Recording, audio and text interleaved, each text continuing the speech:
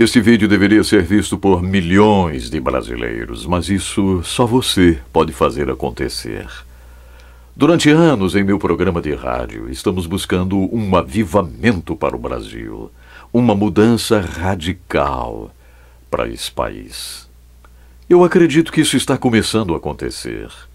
Quando vi os sorrisos debochados do patriarca Odebrecht e de sua corja, que foram premiados por suas delações, falando que jogaram pelo ralo bilhões de reais e sendo repreendidos por procuradores para que falassem sério e reconhecessem seus crimes, eu entendi que uma pequena chama de esperança está se acendendo no nosso Brasil. Mas para que esta luz brilhe completamente, você e eu temos uma grande missão. Vai muito além da oração. É oração com ação. Precisamos dizer não nas urnas para todos, todos que tiveram seus nomes citados nas delações. Jamais um destes poderá receber o nosso voto novamente. Você sabe por quê? Porque eles impediram estradas serem asfaltadas. Eles mataram milhares que pereceram devido a um buraco na estrada.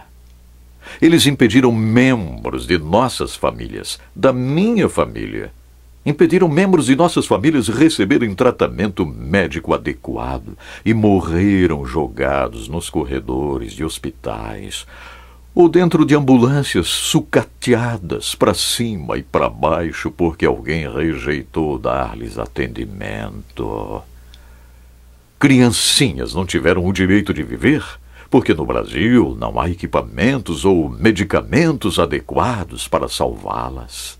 Eles mataram milhares com suas trapaças e crimes contra a democracia. Eles ruíram escolas. Eles impediram professores de terem um salário adequado. E estes mesmos nomes já estão tentando voltar a única preocupação é: eu preciso ser eleito novamente. E eu pergunto: será que vamos cair nessa? Não. É hora de ação. Já entendemos tudo. Todos estes não se doaram para sua pátria. Não possuem a mínima intenção de ser bênção para o Brasil descobrimos que vivemos em um país onde a cúpula do governo está vendida, a cúpula da Câmara está vendida, a cúpula do Senado está vendida, a cúpula dos principais estados está vendida. Com a autoridade de Deus, precisamos repreender este demônio da corrupção, dizendo não para todos os corruptos. O Brasil pode ser novo. Há uma oportunidade diante de nós. Não podemos perdê-la. Assim a de Bodebrecht. Que se acabe, que seja extinta e enterrada em seu deboche. Porque o Brasil. O Brasil precisa começar de novo.